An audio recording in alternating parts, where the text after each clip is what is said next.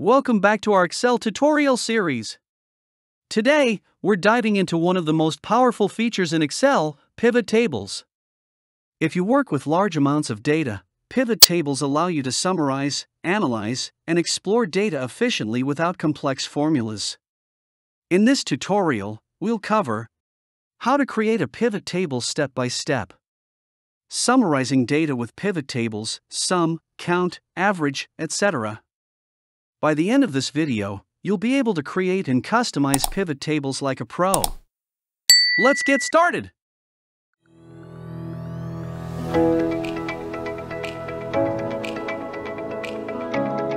Before we create a pivot table, we need data to work with. Let's say we have a sales dataset for a store.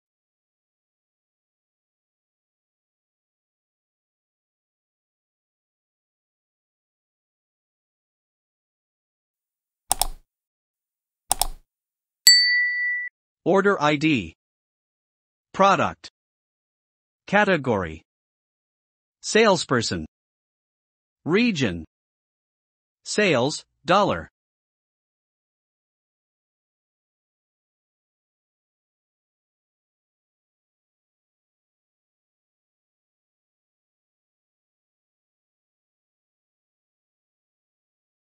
One thousand and one. Laptop. Electronics. John, North, 1200.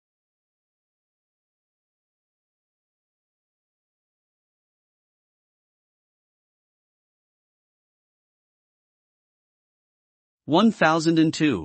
Phone. Electronics. Sarah. South. Eight hundred.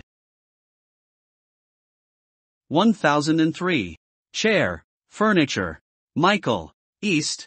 300. 1004. Desk. Furniture. John. West. 450. 1005. TV. Electronics. Sarah. North. 1100. 1006. Laptop. Electronics. Michael. East. 1350. 1007. Chair. Furniture. John. South. 275. 1008. Phone. Electronics. Sarah. West. 700. Once you've entered this data, make sure all columns have proper headings, as Excel uses these to create. The pivot table. Now that we have our data ready, let's create a pivot table. First, select any cell inside the dataset, E, G, A1. Click on the Insert tab at the top. Select Pivot Table from the menu. A pop-up window will appear. Ensure the selected table or range option is chosen, and your entire dataset is selected. Choose New Worksheet to place the pivot table in a new sheet. Click OK. Now, you'll see a blank pivot table with the pivot table fields pane on the right.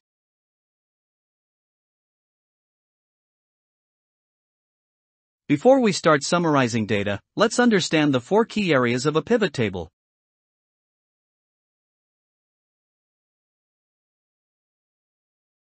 Rows displays unique values from a selected field.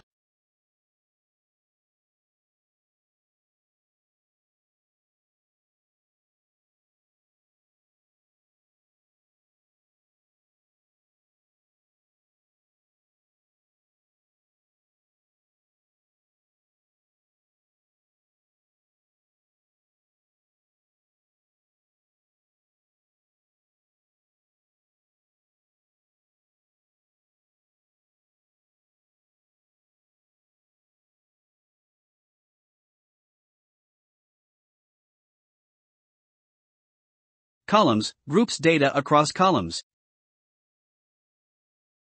Values calculates totals, averages, or counts. Filters allows filtering the data. Now, let's build a simple report to summarize total sales by region. Let's create our first pivot table report.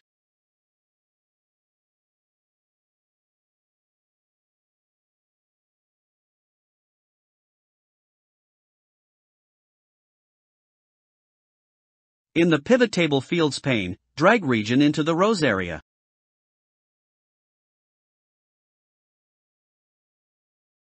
You'll see a list of regions appear in the pivot table. Drag sales, dollar, into the values area. Excel automatically sums the sales for each region. Now, you have a quick summary of total sales by region.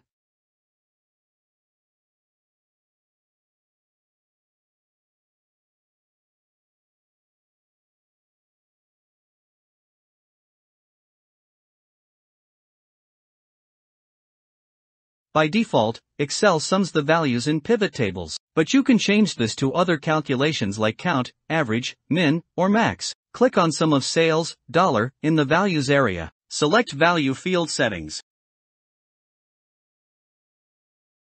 Choose a different calculation, such as average.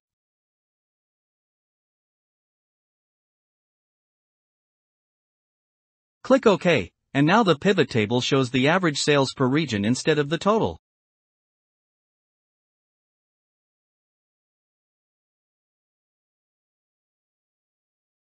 You can also filter and sort data easily in a pivot table. Click the drop-down arrow next to region in the pivot table. Uncheck any region you don't want to display. Click OK, and the pivot table updates instantly.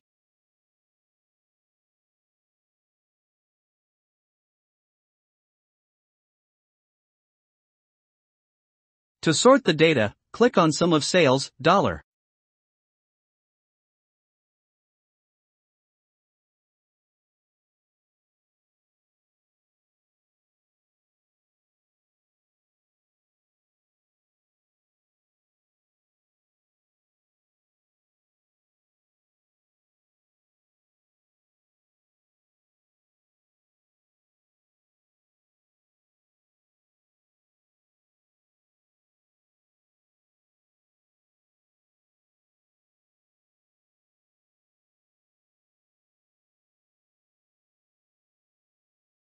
Go to the Sort and Filter option in the ribbon. Choose Sort largest to smallest to arrange regions by highest sales first.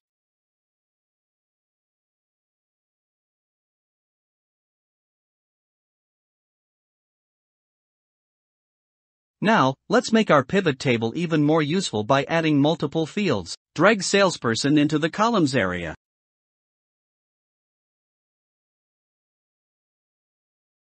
Now, the pivot table breaks down sales by region and salesperson. This allows us to see which salesperson performed best in each region.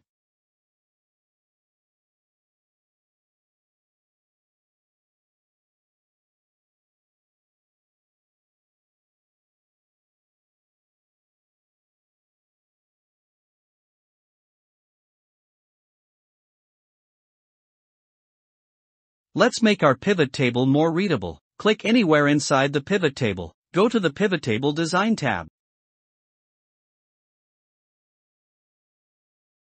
Select a pivot table style that makes the data easier to read.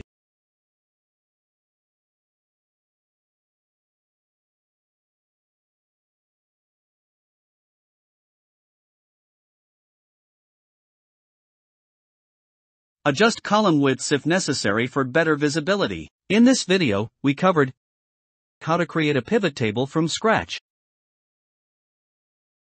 How to summarize data using sum, count, and average. How to filter, sort, and customize pivot tables. Pivot tables are one of the most powerful tools in Excel, and by practicing with different datasets, you'll quickly master them. If you found this tutorial helpful, don't forget to like, share, and subscribe for more Excel tips.